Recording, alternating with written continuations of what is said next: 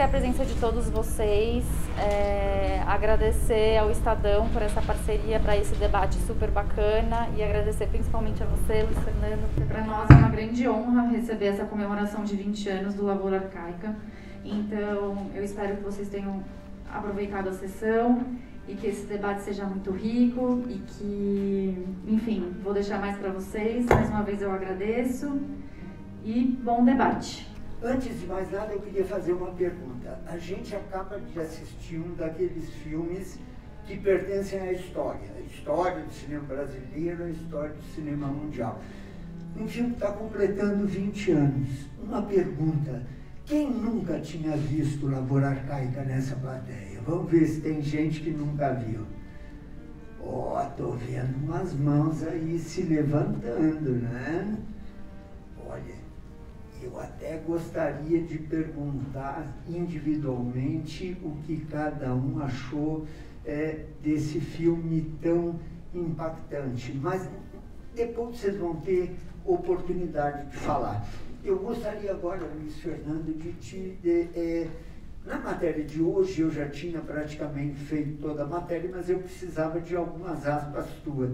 E eu te perguntei, é, assim, é, que não, não propriamente que lembrança que tu tinha do filme, mas o que te levou a fazer esse filme e, ao mesmo tempo, por que, que ele é importante de ser visto hoje.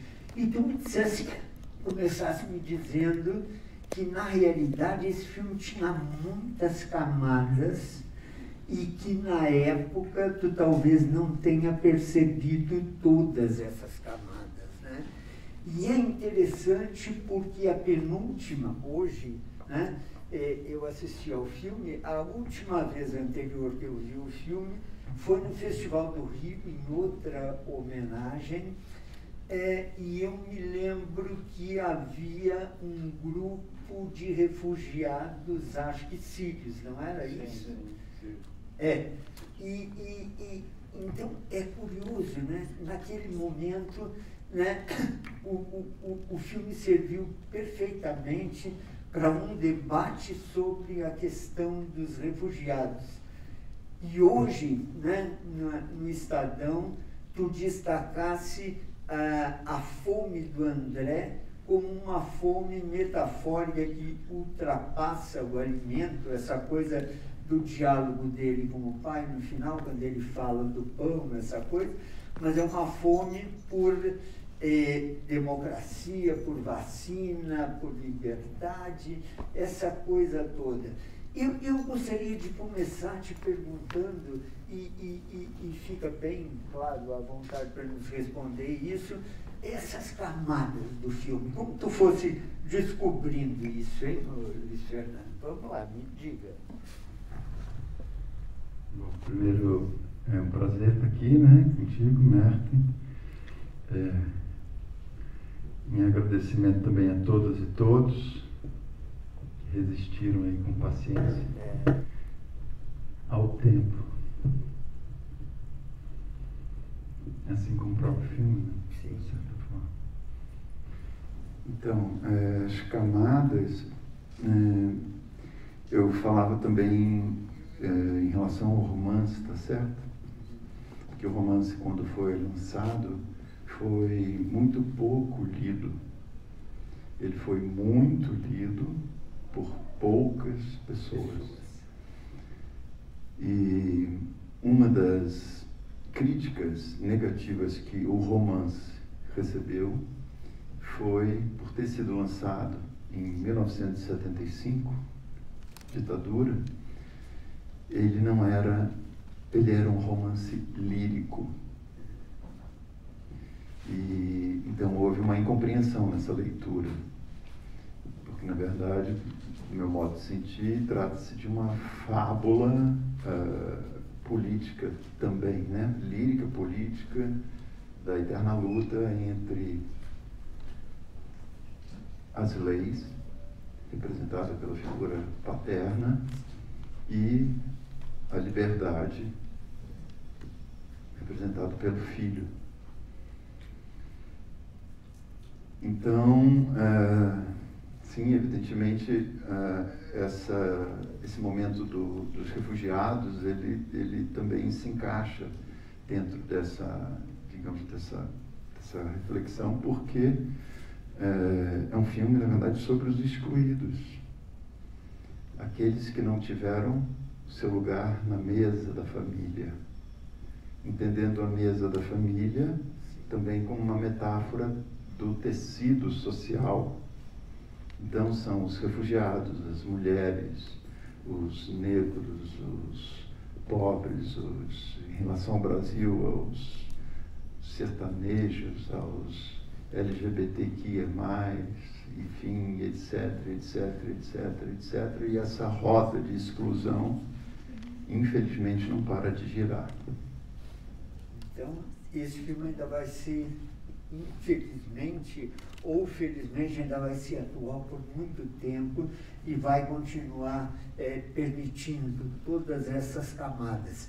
Eu vou te fazer só mais uma pergunta, que é a seguinte: tu é um autor de processo, curte muito essa coisa é, de, de, de, de, transformar né, a obra de arte é, num processo. E esse filme, é, por exemplo, tu faz parte da história, faz parte da, da, das lendas é, que se contam sobre Largor Arcaica, que tu te isolasse numa fazenda com teu elenco e que ao invés de fazer é, uma preparação, digamos assim, é, é, é convencional, tu fazia com que o teu elenco desempenhasse as funções cotidianas que os personagens, digamos, fariam normalmente ou fazem normalmente. E aí, a partir disso, houve uma discussão é, sobre o livro realmente, essa coisa assim de é, é, é, é improvisar os diálogos a partir do romance mesmo. É, que memória tu tem desse processo? Ele deve ter sido muito intenso, muito rico. Não? Foi. Foi? Chega. É, você usou um termo aí, é, que eu me isolei na fazenda, é isso? É. Então, continuo isolado, né? nesse sentido também. Né? É, o filme também fala de solidão, né? Sim. Eu acho que é uma espécie de tradução também do estado de, dos excluídos, né? Seja aquele, aqueles por fome real, seja aqueles, como o André fala, por fome de afeto, né? E é, a ideia do isolamento na, na fazenda, estou vivendo um isolamento agora com parceiros aqui que estão saindo do isolamento para assistir esse filme, é, para o nosso trabalho, próximo trabalho. Mas o isolamento é fundamental para você ter coragem de quebrar as é, meia dúzia de regras convencionadas, empurradas goela abaixo para todos nós, artistas, é, pelo mercado. Então, você tem atores com larga experiência, mas dentro dessa larga experiência de tempo de trabalho, você tem um excesso de repetições absurdas, de, de, de ausência de processo, né? de repetição, xerox, xerox, xerox, xerox. Então, o isolamento, ele, ele desconstrói isso, ajuda a desconstruir isso. Né? Mas ele é muito perigoso também, bem perigoso. É, escuta, é, é, eu poderia ficar aqui fazendo é, perguntas para o Luiz Fernando, mas a gente tem essa oportunidade rara é, de vocês formularem as suas perguntas para esse grande artista. Então, eu vou abrir logo para vocês para ver o que vocês estão interessados em discutir com o Luiz Fernando.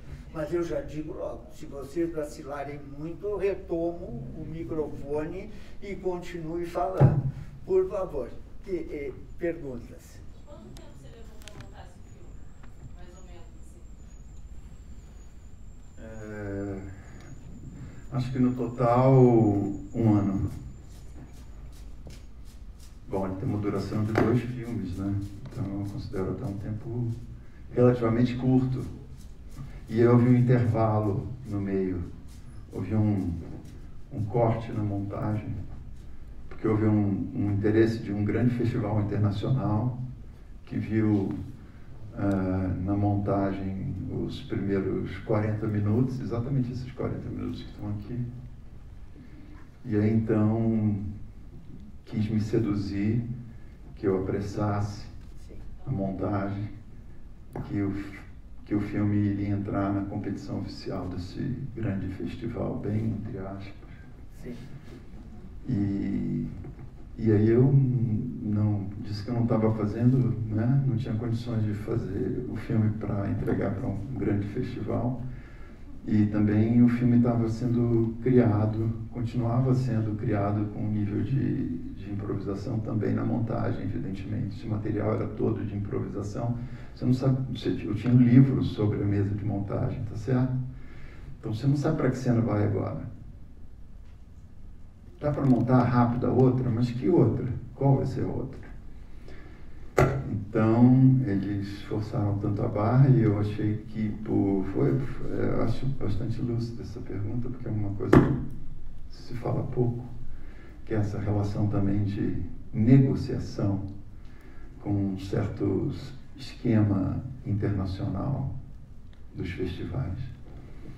E e então eu falei, olha, para não parecer que eu sou, né, que eu estou intransigente, vocês ponham uma montadora de vocês aqui para fazer uma versão de vocês, do festival de vocês.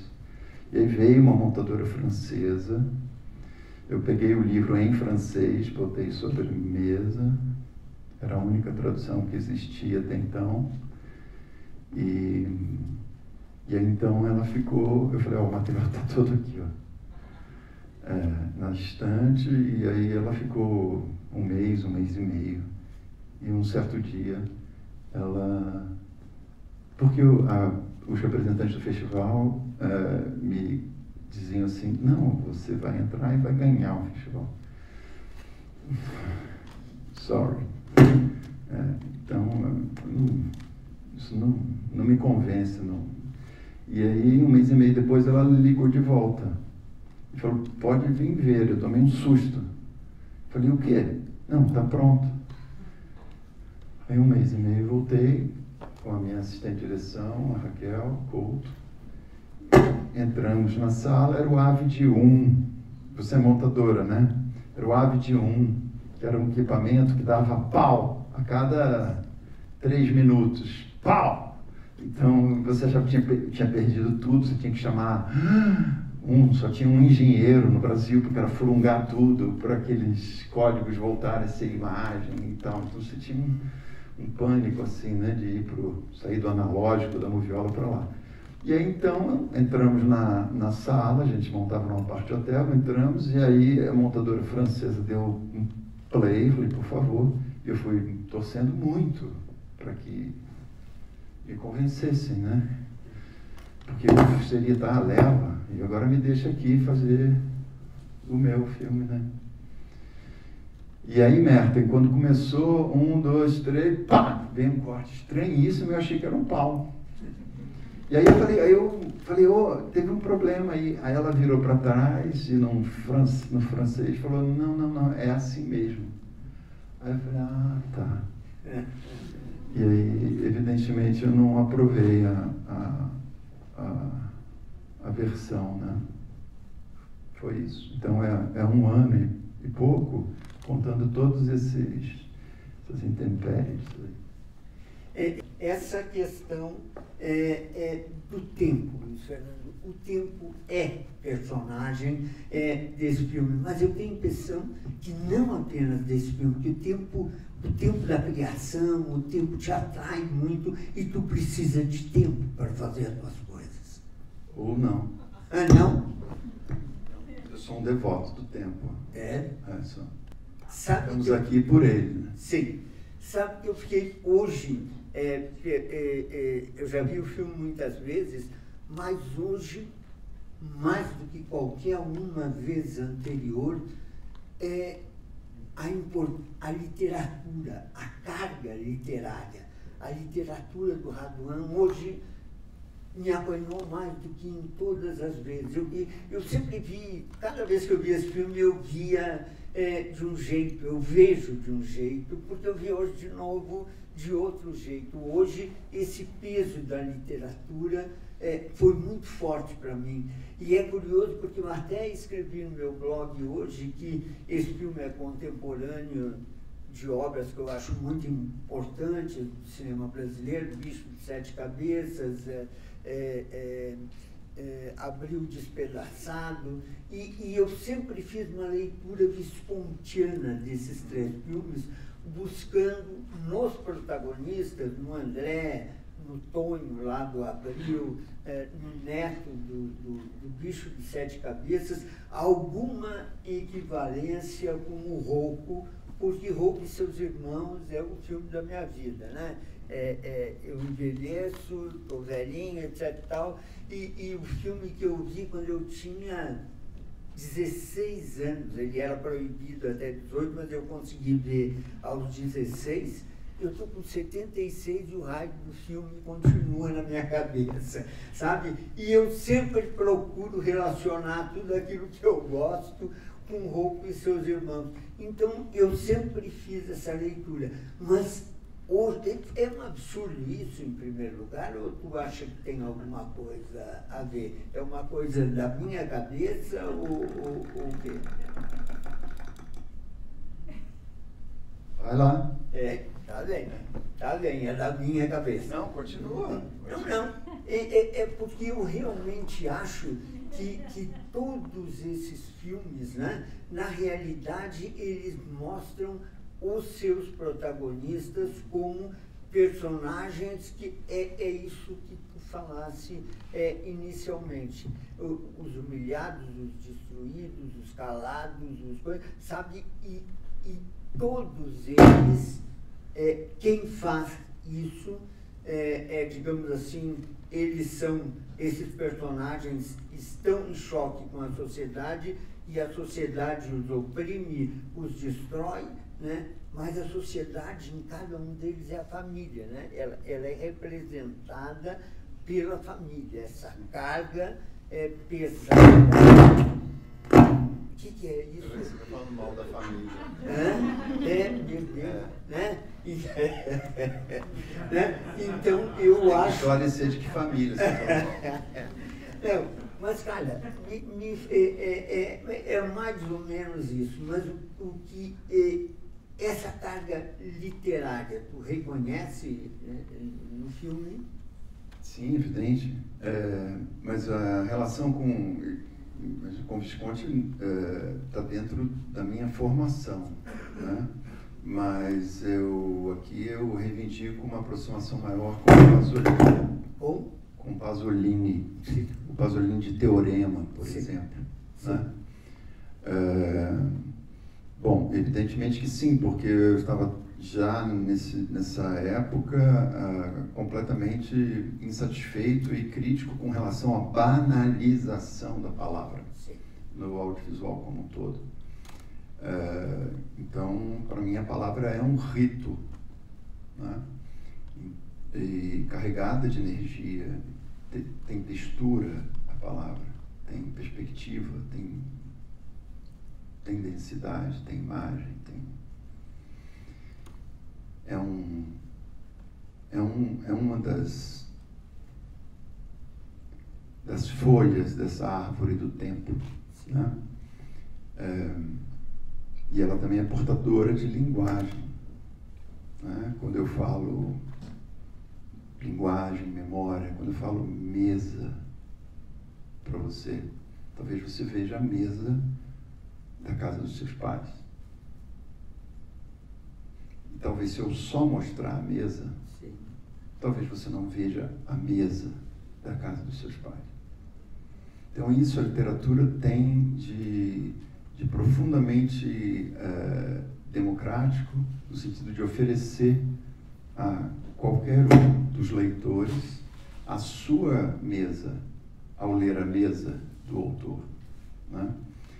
Então sempre me interessou essa imagem da palavra e a, palavra, e a, a imagem da palavra e a palavra da imagem. Esse jogo que está também muito colocado no, no, no Cartas a Tel, né? no, no, no esboço, nos esboços do, do Van Gogh para o seu irmão Tel, que vinha sempre uma, uma, um esboço da imagem e que embaixo ele vinha refletindo sobre como ele iria pintar esse amarelo, eu preciso de tantas bisnagas de amarelo, porque esse trigo seria assim, assim, assado. Então eu li aquilo, vi imagem, li aquilo, vi imagem e achava que fazia uma espécie de transe, de linguagem de transe, também meio artoniana, onde o ator ele é, o, é, o, é o mensageiro, né? Ele não é só um cara que fala, mas ele é o mensageiro desse transe, ele ao mesmo tempo ele é o emissor da mensagem, ele é o receptor da mensagem, né? e ele nesse, nesse jogo né, da, da, da, mensagem, ele, ele não consegue parar esse fluxo, né? Ele é a mensagem em si, então ele emite, ele é afetado pelo que ele emitiu e ele continua uh, girando, né? Então é como se eu não conseguisse interromper esse giro também proposto pelo próprio Raduan, que é que por ser uma literatura lírica também, uma prosa poética, há um giro ali com as palavras, já páginas e páginas que você não tem, não tem ponto. São vírgulas, vírgulas, vírgulas, vírgulas, vírgulas, vírgulas. E há também uma, uma, uma tentativa de alcançar uma certa oralidade. É uma oralidade muito sofisticada, tá certo? Uma oralidade que você encontra também em Guimarães Rosa, né? que você encontra em alguns autores europeus, de James Joyce a Saramago, né? Mas esse transe da linguagem tem a ver com a palavra e também tem a ver com a ideia da, do epilético, da língua solta, do que é a palavra que vai desconstruir também, por sua vez, a força dessa palavra, que vai desconstruir qualquer ordenação mais racional, qualquer lei, qualquer ordem é, é através da, da, da, do discurso do André que ele vai desconstruir o discurso do pai. Não é através do silêncio é, de uma ação só, pura e simplesmente. Ela também é embebida na, na potência da palavra. Então, é, é um filme que representava a minha, a minha crise em relação ao, ao excesso de banalização da palavra. Porque a palavra ela pode ser falada de uma forma coloquial, neutra, nada, né? ou ela pode ser embebida de, de significados, né? de cultura, de ancestralidade, principalmente. Isso também é um filme sobre ancestralidade. De, deixa só te dizer uma coisa. É, quando tu citaste o Cartas ao, ao Theo, é, é, é, sei lá, o primeiro livro de cinema que eu escrevi foi é, em, em, em 1995, para comemorar o centenário do cinema, uma editora é, do Rio Grande do Sul me encomendou. E, e, e, era mais ou menos em cima de uma pergunta: cinema é arte? E, e naquele momento o fenômeno era Tarantino, né? E o Tarantino vinha com um cinema baseado no diálogo, numa mise-en-scène forte, etc. E tal. Mas e, e, eu, eu terminei, na realidade, usando Van Gogh e as cartas ao Theo para dizer o que eu achava que era a arte ou que era o cinema. O, o, o, o Van Gogh diz uma coisa linda que eu não sei se vocês é, é, é, conhecem. E, ele diz que quando ele pinta os girassóis, né, ele, ele, ele coloca toda a visceralidade dele porque ele acha que a arte deve servir de consolo para as pessoas. Não existe outra função da arte, segundo ele, senão a de consolar as pessoas nesse transe difícil que é a vida humana. E isso é mais ou menos o que o Rainer Maria Rilke, poeta, também dizia, né? que a vida, né? ele escrevia poesia, mas no caso dele, ele ainda falava uma coisa, para ajudar as pessoas a carregarem a carga da sua sexualidade. E aí eu volto para ti, porque esse filme, cara, ele tem uma carga erótica, sensual, fortíssima, não? E, e, e, e fala um pouco sobre isso e até da entrega dos atores, né? Porque eles foram fundo nessa história toda, né? É, mas então, são. É, um, é, uma, é, é o erótico enquanto força vital, né? Sim. O erótico está tá em tudo. É uma vibração, é uma música, né? Força vital. Não é uma não é um truque de sensualidade, né? É uma força telúrica, vital, está no, tá no encontro do, dos pés com a terra, está no vento das árvores. Tá. E quando a escolha a Ana é, ser o único personagem sem palavras, ela fica só na imagem da palavra ou vocês descobriram isso depois? Então, quem descobriu isso foi o Raduan, né? É, tá Isso- É, está no texto, é, está no, no livro. No romance é o único personagem que não fala. E, e, e me parece uma escolha adequada, já que numa sociedade patriarcal, tá certo? As mulheres são caladas, são interditadas. Não só na sua fala, mas também nos seus desejos, sonhos e tudo mais. Então, as mulheres, elas fazem parte naquela divisão da, da, da mesa da família, que, como eu falei antes, é o tecido social, tá certo? Naquela divisão da mesa da família, há os que seguem o tronco, o ramo paterno, né? e que, consequentemente, terão direito à fala, terão o poder da fala, e há aqueles que seguem o tronco da mãe, né? que é o tronco dos afetos, um, um outro conjunto, um outro, uma outra epistemologia, um outro conjunto de linguagens, de falas, de, de gritos, de, de, de texto mesmo, onde o silêncio é portador desses enunciados todos, entende? Então, quando a mãe acorda o filho por debaixo do lençol, aquilo é, uma, é de, uma, de uma eloquência muito grande. Quando a dança da Ana, no final, é de uma eloquência muito grande, ela está falando muito. Né? Eh, a sociedade eh, eh, patriarcal vai, vai, vai lutar frontalmente, radicalmente contra essas falas do feminino. Né? Mas é justamente Ana, através da sua fala, eh, que está toda incorporada, está toda no corpo. Também é um filme que trabalha essa dualidade entre, entre a palavra e o corpo, né? porque eh, André, Ana, eles estão todos ancorados dentro dessas glândulas, dessa fala glandular, molecular necessária de que o corpo precisa vencer esse excesso de racionalidade, entende? Todos nós aqui trabalhamos muito mais, na grande maioria de nós, trabalha muito mais com a cabeça do que com o corpo. Na verdade, nós não temos uma cabeça, nós temos um corpo, não é? Tá certo? É, o pensamento é corpo, você pensa com o corpo. Não existe essa dicotomia criada lá no iluminismo, né, no século XVII, XVI, que separou a cabeça do corpo. Aqui é uma narrativa panteísta, onde tudo isso é uma coisa só. Né? Então há, há, uma, há uma fala muito eloquente é, no silêncio da Ana, no silêncio da mãe, né? e, e ele, ele fez com muita consciência isso, né? certamente. E eu, eu, eu li assim também. E é, e é talvez é, em, em paralelo com o André, que é tido como o, o, o filho pródigo, o filho é, revoltado, né? É, ele não é ninguém, não é nada. Você percebe que o final é até niilista, ele se enterra na própria terra. Né? Ele, ele, ele, ele, ele foge para uma espécie de útero é, telúrico da própria terra, enquanto Ana foi a mais revolucionária de todas, foi a mais corajosa de todas, foi a que teve o, o, o, o, o, o concurso do seu discurso levado às últimas consequências, entendeu? A, ao ponto de oferecer o próprio corpo em sacrifício contra essa lei. Uau! É, pergunta?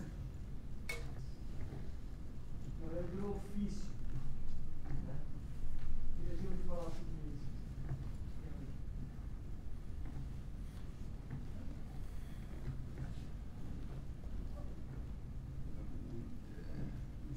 Muito, é, muito amplo, eu acho, né? Sabe? Porque acho que o ator é aquele que está se o ator genuíno. É, hoje em dia também esse, esse sinal, esse signo, ator, ele também, assim como a palavra, ele está todo é, aguado, ele está todo desconstruído pelas leis é, do mercado. Né?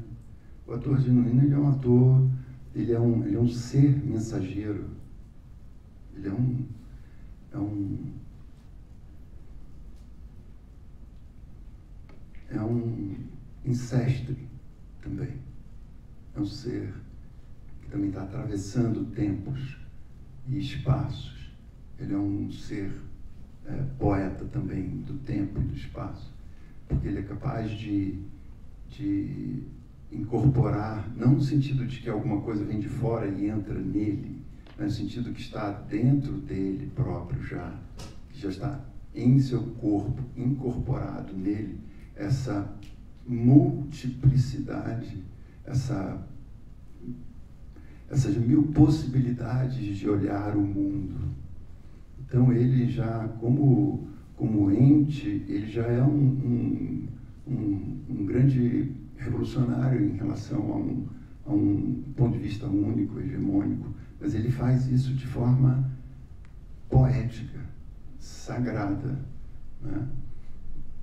Então, é, eu não, não tenho muito o que, que teorizar, não, nem gosto de teorizar, entendeu? Apesar de gostar de ler teorias sobre o, todas as linhas de trabalho dos atores, de Grotowski, a, enfim, a Stanislavski e tal, mas a, a, a a importância deles dentro de uma sociedade, como arautos de uma sociedade de seu tempo, ela sempre foi fundamental e eu sinto muita falta que eles ocupem esse lugar, por exemplo, nos tempos de hoje. Entende? Acho que, infelizmente, nós vivemos no Brasil uma espécie de reatualização da colonização, uma eterna reatualização do imperialismo, da colonização, né? e onde é, esses agentes colonizadores eles atacam diretamente a cultura, porque é a cultura onde mora a subjetividade. E essa subjetividade, quem, quem elabora e reelabora ela, né, é, e quem oferece para a sociedade, como arauto mesmo, do inconsciente coletivo dela, são os atores, são os atores genuínos, entende? Então, eles têm essa, essa função. Então, não, não tem porquê eu não, não acreditar num processo com atores. Porque eu estou trabalhando com um cara que, com uma moça que, uma menina que está ali agora. Não, eu não sei de onde ela veio, de que, de que dimensão, de que perspectiva, entende? São pessoas portadores de muitas histórias, de muitos tempos, né? e que estão levando é, todas essas questões adiante, né? E são questões todas de contracorrente, são questões todas de resistência, são questões todas de, de são semeadores dessa desordem necessária de que o filme fala, de toda toda ordem traz uma semente de desordem. Então, sim, essa semente de desordem para mim são os atores. Cara, é, é, eu estava vendo é, o filme e pensando, será que vai ter espaço para fazer uma pergunta? Porque eu fiquei impressionado justamente com a cena do pai do André, a, a, a, a peleja verbal é, dos dois, né? E é taco no taco, né? É a semente, mas a semente tem a desordem, né? eles são é, impressionantes os dois. E eu fiquei pensando, cara, pode parecer bobagem, vocês me desculpem, mas eu acho que não é. é, é tu te lembra especificamente da filmagem desta cena? Cara, é, é, é, sei lá, foram dias, foram, foi, foi, foi taco no taco mesmo, com mais uma câmera, sabe, assim, pá, pá, é o vai e vem, não. Foi? Ali eu estava numa câmera, a câmera do. Eu estava fazendo o Raul e o Valtinho estava fazendo o Celto. E essa cena nunca foi ensaiada. Entende? Então ela só foi improvisada na fazenda, né? que é esse espaço de retiro onde os atores ficaram né? Meses comigo lá. E a condição de fazer o filme era que realmente eles não poderiam pegar nenhum outro trabalho. Então tinham que recusar comercial, essas coisas aí. E é isso. E aí, é, quer dizer, como hoje, eu acho que, que tem uma, uma turma dos atores que a gente está trabalhando lá é, no Galpão, aqui em São Paulo, e a gente nunca vai chegar a ensaiar uma cena. Né? Acho que eu, a, não faz o menor sentido ensaiar uma cena.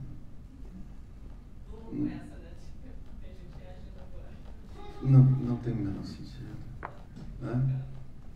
Não tem o menor sentido ensaiar uma cena. É, é. Né? Não não tem o menor sentido. É, é, na verdade, é, é, é, um acontecimento, né? Você tem que produzir um acontecimento da ordem espiritual até. Por isso que eu falo do ator sagrado. Ordem espiritual e, e aquilo, e aquilo vai ser, então, registrado. Se o acontecimento acontecer, a gente filma. Se o acontecimento não acontecer, a gente bota, arruma tudo, vai para fazenda, amanhã a gente volta né? ver se o acontecimento acontece.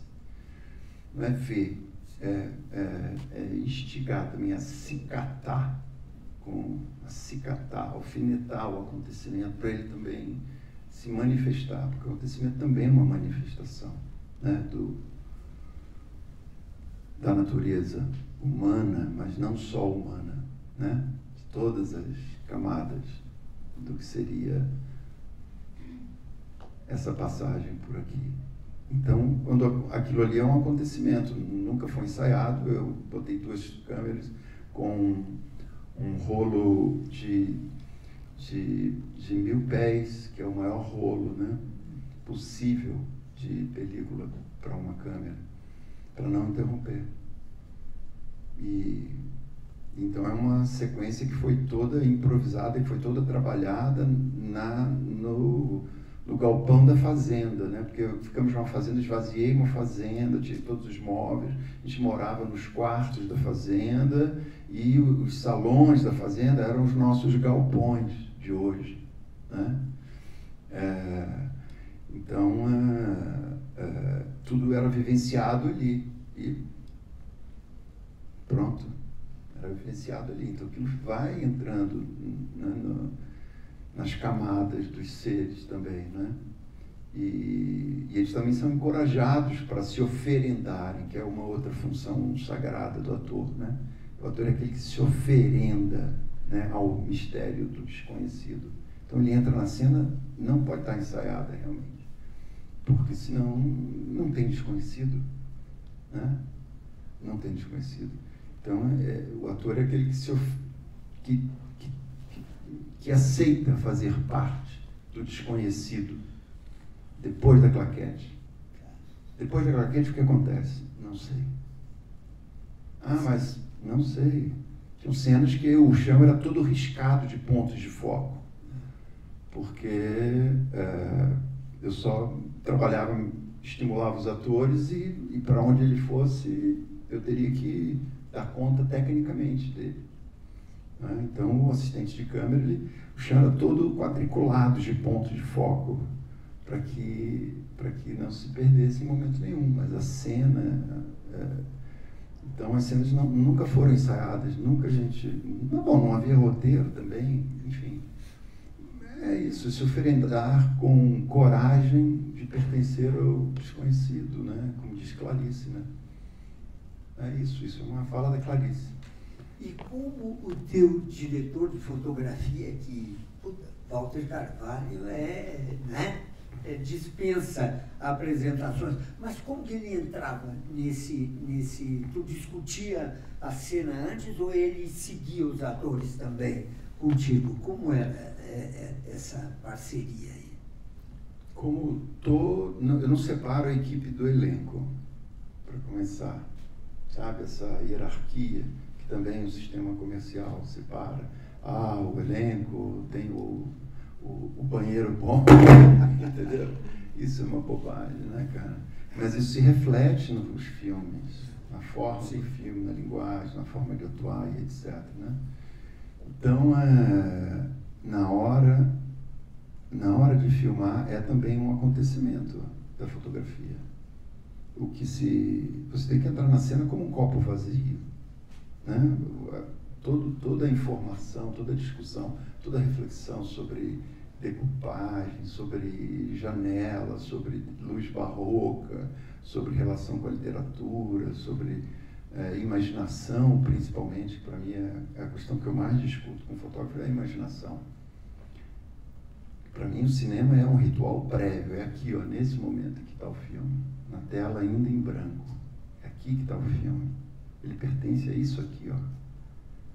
Quando se acender o, o refletor apagar a luz, acender e derrubar isso aqui, não é cinema. Né? Porque é, é onde mora a sua imaginação. Então a imaginação tem que ficar na imaginação. Se você começa a didatizar, descer a imaginação, racionalizar a imaginação, de explicar demais a imaginação, ela deixa de ser imaginação. Né? E na maioria das vezes que você faz esse movimento com a imaginação, seja na tua vida, ou seja, num filme, né, você está indo para uma zona de conforto, para uma espécie de repetição de modelos, convenções e procedimentos. Né?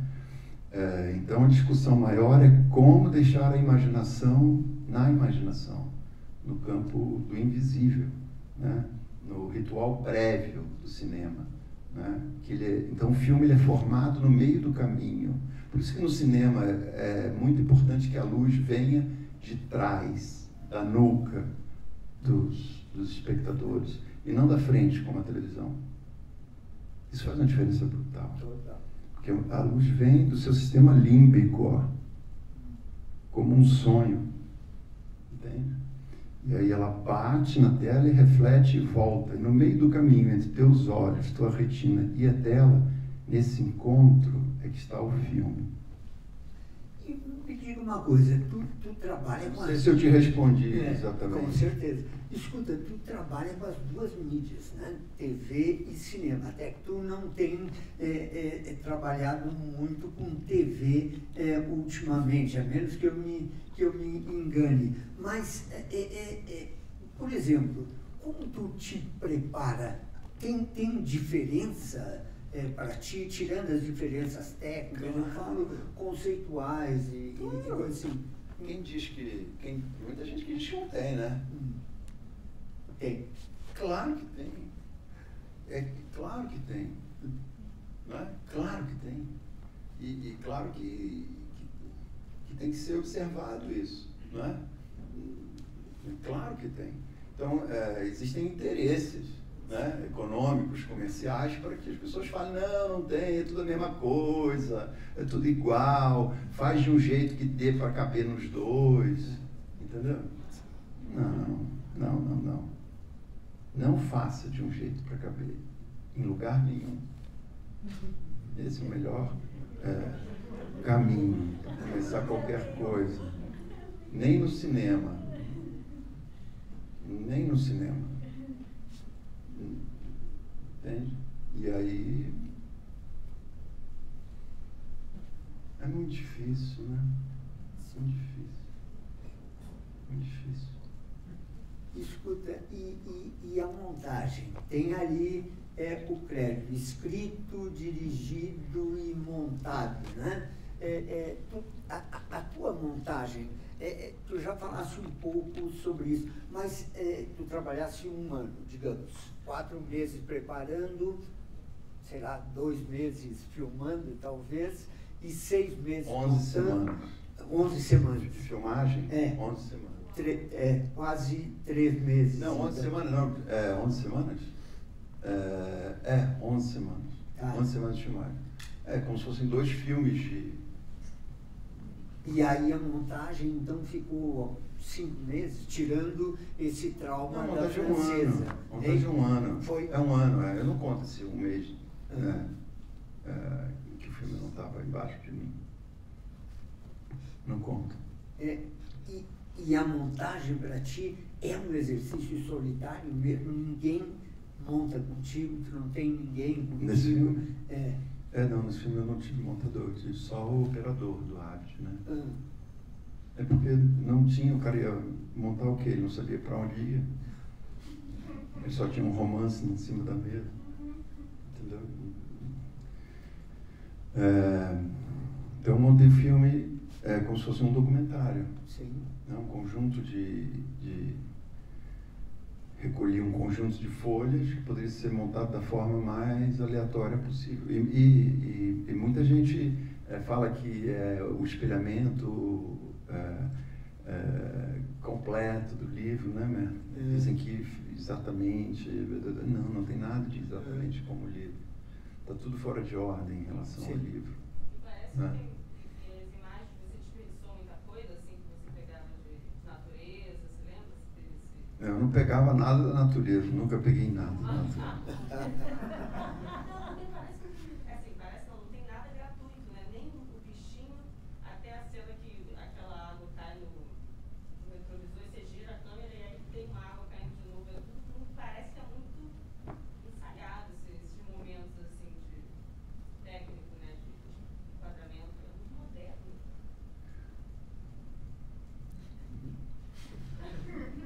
Então, Não foi uma pergunta. não foi uma pergunta. Pergunta. Aí voltando com a relação do- dos atores e atrizes que participam assim, dos processos, você tem uma característica diferente de vários outros diretores do mercado, que é de fletar, bast- além da literatura, com a música, com a dança, de tentar fazer uma composição artística dentro das suas obras. Eu tive a oportunidade de conhecer o Raimundo Rodrigues, que falava muito de como era esse trabalho de composição visual também, e acaba que nos seus trabalhos as coisas vão, vão se encaixando, essa alma desses atores vão se encaixando dentro de uma estética, dentro de uma composição, assim. Então, na hora que você escolhe esses atores e atrizes para encaixar essas almas desses personagens e fazer essa composição ali para as tuas obras, vejo que te- há, há uma, há uma constância de alguns atores e atrizes que participam, mas o que você leva em consideração desse arauto que está chegando ali, do, do que você está querendo dizer, né? O que você leva em consideração quando você olha para um ator e atriz e para ele encaixar dentro dessa tua composição do todo da tua obra, assim, né? Quando você vai fazer uma obra audiovisual. Bom, eu não acho que, se- que seja uma obra minha, para começar. Né? É é uma obra de conjunto e talvez dentre várias questões que eu olhe, né? é, sem dúvida nenhuma, primeiro, no fundo dos olhos deles, eu escolho todas as atrizes, atores, criança de qualquer idade, é, através dos- do, olhar, para os olhos. Faço um teste nos olhos, eu olho para os olhos. E por que, que eu olho para os olhos? Porque, ao mesmo tempo, eles serão meus tradutores, de uma certa forma, e eu serei tradutores deles. Tradutor deles. Então, é uma via de mão dupla. Eu, eu, e talvez eles nem estejam sabendo disso. Em alguns momentos, é, há uma troca tão é, sutil, né, no campo espiritual mesmo, onde um está lendo o outro, está traduzindo o outro, e você não sabe exatamente quem é, é, não consegue separar a vida do cinema, o ator da personagem, tudo está num amálgama, assim, né? E essa figura também é, muito cultuada, que eu não concordo, do diretor, entendeu? Eu estou dentro dessa ciranda aí, me, of- me oferendando também, entende? Porque esse, esse, esse estado é um estado alterado, entende? Do, do, do ator. Porque é o sagrado, é o estado, ele tem que sair do cotidiano dele. Aí, nosso, entra no táxi, sai do Uber, abaixa a cabeça, entra no elevador, aperta o botão, desaperta o botão, atende o celular, passa o WhatsApp, é, senta para comer comida, come, come, é todo automatizado, entende? Então você leva muito dessa automatização para a cena, para dentro da cena.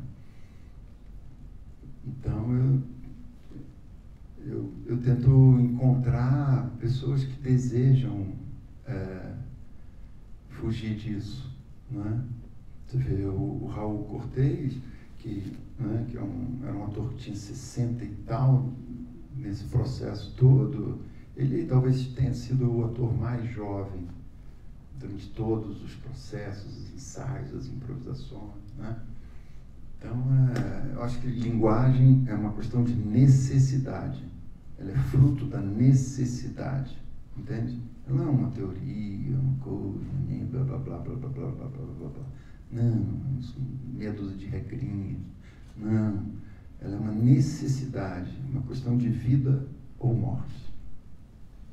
E Luiz, você lembra a tua primeira leitura do Lago Uracá, que eu queria que você dissesse primeiro momento que você leu o livro, né? Esse contato do leitor antes do diretor. Exatamente isso, Marcelino. É, você lê e você fala, isso é tudo aquilo que eu gostaria de ter ouvido, ter assistido, ter escrito, ter.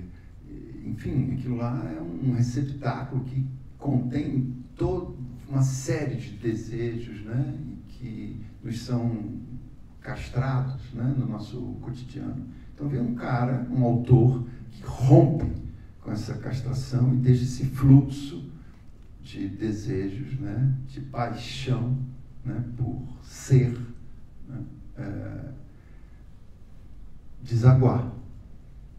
Então, quando eu li, eu, eu, eu, li numa sentada só, deve ter lido em duas horas o, o romance.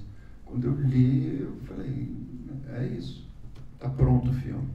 Na minha cabeça eu tinha visto um filme, eu não tinha lido um livro. E aí você foi procurar o Raduan, como foi esse contato? Você já conhecia? Não, eu já tinha ido, a gente já se conhecia de antes, é, porque eu, é, eu é, bom, é uma história que, longa, mas eu acho que Marcelino não conhece. É, é, mas resumindo, o nosso primeiro encontro com Raduan foi para Hoje é Dia de Maria, para é, Menina Caminho. Menina Caminho, que foi o primeiro, primeira novelinha dele, né? O texto mais jovem dele. E que a minha intenção era fazer um médio-metragem. Um médio-metragem. E aí voltando para casa, é, eu depois. É, aí que eu, que eu fui ler o Lavoura. E aí. E eu voltei e falei: não é o menino a caminho. É o lavoura. Nesse processo. Era um menino a caminho, né? Vocês fizeram, tu e, e, e Raduan fizeram uma viagem ao Líbano, não? em busca das origens, etc. Sim. E deu origem a um documentário que eu nunca vi. Mas é, é, é, qual foi a importância realmente dessa viagem com ele? É, você se desfazer totalmente dos clichês, né? Quem foi que levantou a mão? Aí, tá. Eu queria saber, porque tem uma adaptação do Paulo de Cola, eu queria saber se você já tinha lido também, se você escolheu o Lavoura Carta, como é que foi essa história? Não, não, não. Era só o Menina Caminho e o Lavoura. Inclusive os outros contos eu não tinha conhecimento. Né? O Lavoura foi os Esse lavoura é uma porta. Né? Assim, você entra ou você não entra, não tem, você não para embaixo dela. Né? E é uma porta assim meio trancafiada, né? Assim, em termos de linguagem. Ela, mas se você entrar, você vai ser muito bem recebido. Entendeu? Você vai se encontrar lá dentro. Acho que essa é que é a questão. E não importa se é mulher, se é homem, se, que, que cor é, que raça, é, esse sentimento de ser posto à parte, de exclusão, né, ele encaixa em qualquer um de nós. Né? Então, é, é, você entra e você é onde você queria estar, né? É aqui, é aqui. E aí você se espanta um pouco, porque é um livro de 75, e aí em 2001 você, mas ninguém quis filmar isso aqui ainda. É, é, é uma, é, eu te falei, eu falei aqui que eu vi o filme muitas vezes e eu faço diferentes viagens em cada vez que eu vejo o filme, mas tem uma coisa é, que se mantém: a construção do olhar no filme e os olhos. Aquela primeira cena do Celton com aquele olho preto, brilhante, aquela coisa, e depois tu até vê é, é, que ele tem um olho claro em outras cenas, etc. Mas aquela cena parece um pássaro, né? É, é, é um, um, olho redondo, e eu acho que tem a ver com a pomba depois, né? É, o, o olho redondo da pomba. Mas, cara, é, é, aquilo que tu falasse, a, a, a, Simone se expressa pelo corpo no filme e, e, e a Juliana pelo olhar e, e, e, certos gestos. Né? O olhar dela é uma coisa de louco, né, cara? eu não gosto de usar aflito, um olhar aflitivo, porque tem lá o jardim dos aflitos, Deus, Deus me livre, né? Mas é, é, é, é, mas é realmente aflição, né? uma angústia, né? Sabe que a Juliana, é, a Juliana era muito parecida com minha mãe, né? Muito parecida. Minha mãe, eu sou filho de sertaneja, de mulher sertaneja.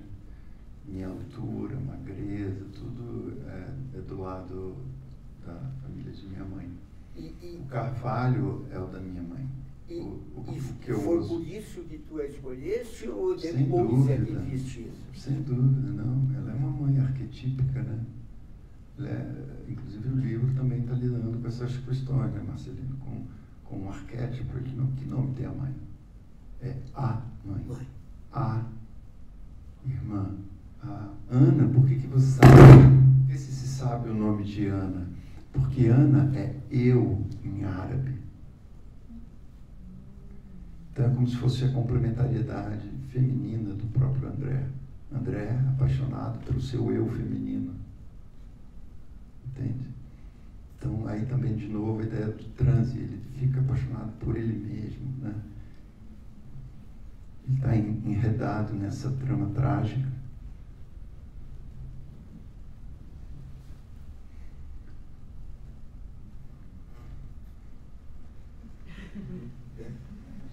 Escuta, e, e, me conta uma coisa, o que que tu... É, é, é eu acho que a gente, já estamos quase terminando, coisa Tem assim. uma hora. Hã? Já pode ir. Pode ir embora. Não, não, não, não. Me diga, me diga uma coisa. É, é, é, tu está imerso agora, nesse momento ainda, na paixão, na, na Clarice, ou, ou já está pronto? Não, já está pronto. Pronto, é. E, e quando? E quando? hein? Mas tu vai esperar, digamos, melhores condições. Não é um filme para ser lançado online, né? Tu, né? É, vamos esperar um retorno mais consistente ao presencial. É isso. É isso. E, e, e, e digamos assim, com o teu grau de exigência, coisa assim. Ou não tem? Não tem? Não me diga. E aí, o filme está dentro da tua expectativa? Tu chegasse aonde tu queria? Não sei, cara. Ah, eu não sei se. Não sei. Então não. me mostra que eu te digo amanhã. Aí é na tua expectativa, não na minha. Né? Olha aqui, ó, eu acho. É, é, nós vamos terminar? Foi, eu, eu para mim foi uma maravilha, né? Eu, eu, eu, adoro esse cara, achei ele muito legal, muito talentoso, é, toda essa história.